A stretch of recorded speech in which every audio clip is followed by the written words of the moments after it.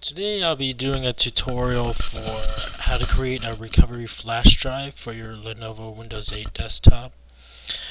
Unfortunately, uh, a lot of these desktop systems do not include a CD drive, I mean a CD recovery tool anymore.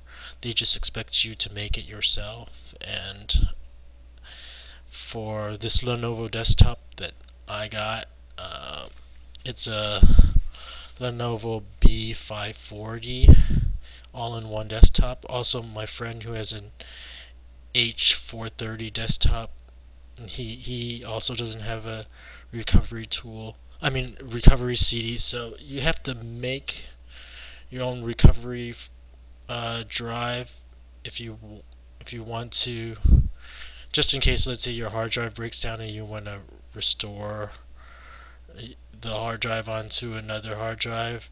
Um, there's another uh, recovery tool that you can use um, that's also included in Windows. So these are two. This is one of the two methods that you can use to uh, make a backup. This will this will what I'm going to outline will allow you to copy the recovery partition that's on these pre-built systems onto the USB flash drive so that if anything happens to your current hard drive you can reinstall everything from the flash drive. So this is how to create a recovery flash drive. Uh, so again this is for Lenovo Windows 8 desktop but could be extended to other desktops that are Windows 8. You'll need a 16 gigabyte USB flash drive and admin privileges. So I've already inserted my flash drive and I want to go into control panel to open recovery. Uh,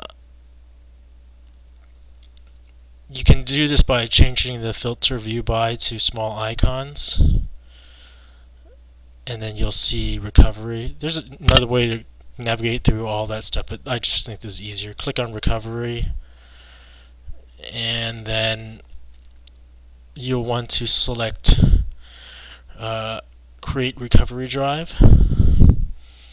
And when you do this, user account control pop-up should appear. If it does, just click yes. That's why you should be an admin when doing this. My screen is going to go blank because I can't do a video of that. So next step is to make sure you're copying the recovery partition. So make sure that check mark is checked. And then go ahead and click next. And then it'll ask you what drive you want to create the recovery drive on. And my drive, my flash drive is E, so just click next. And then it'll ask you if you want to do it for sure. I just click next and then it goes through the whole process of creating your recovery drive. So this is a very slow process if you're using a USB 2.0 drive. It's 16 gigabytes, you know, running at a very slow rate. So um, I'm just gonna do this, let this video go for a minute or so, and then so we started the process at around 948. Um, and right now it's saying copying utilities. After that it'll say some other stuff and then it'll say copying partition.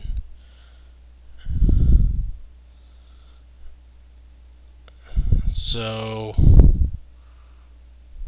it's currently creating the recovery drive and it'll take some time. So let's fast forward.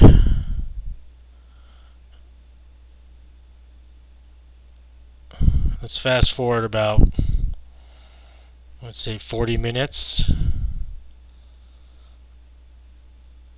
And so we're fast forwarding 40 minutes, about 40 minutes to if you look at the clock it's changed to about 40 minutes.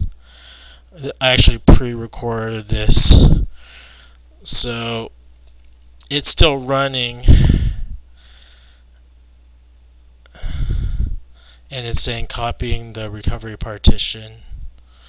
So again, I'm going to go ahead and skip this to the very last part. For me, it, it, it take, took a really long time. If you have a USB 3.0 flash drive, it'll be a lot quicker. So here I am skipping to the last part where it's almost done. So it's almost an hour. I started at 9:48. Now it's 10:42. Um, again, I pre-recorded this, so I'm going to type that it looks like it's taking 50 minutes when it actually took about an hour. But we'll let this go through. Uh, once it's done, if you want to use the flash drive, you just make sure to go into BIOS and boot from the flash drive. And then you can use it like any other recovery tool to reinstall Windows onto, let's say, a, a new SATA hard drive.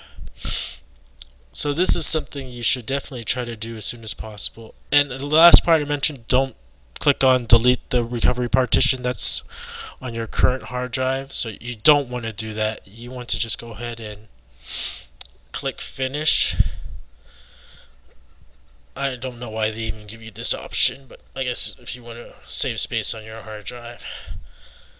So just click finish and you're done.